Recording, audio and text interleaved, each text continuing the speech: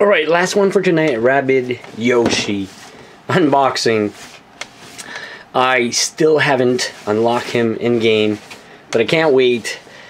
Uh, the figure just looks really amazing. By far, out of all the three, I know the Rabbid Peach looks really good, but this one is just so colorful and joyful and that big turret machine gun. Don't spoil it for me, I haven't unlocked him yet, so I don't know what his specialty is. But he looks very powerful. So, alright, let's do this. Couple of tapes. I only take the side ones off. Usually it works. Sometimes you have one in the bottom. But they are gorgeous, gorgeous figures. Can't wait to get my final piece. The Peach. Oh man, by far. Come on. I just opened it and my heart skipped a beat. It's just really, really gorgeous. Man, come on. By far, best looking one ever.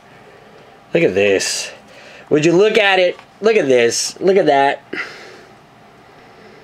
Man, he is just so gorgeous. Colors are so bright, it's insane. I just love him. Like I said in previous videos, you hold these figures up and they look so real just like in the game. They're there. Perfect carbon copy of them. Let's move this away. And that one doesn't have any smudge. The paint job, oh, except for there. A little bit of a black smudge. Not a big deal. If you want to zoom in into that action, see right there. Not that bad. Gotta love it. Love it, love it, love it, love it, love it. That turret gun is just so pretty. Insane. So next week, probably off by September 5th, I should have Rabbid Peach and the set's gonna be complete. So thanks for watching. I'll see you soon.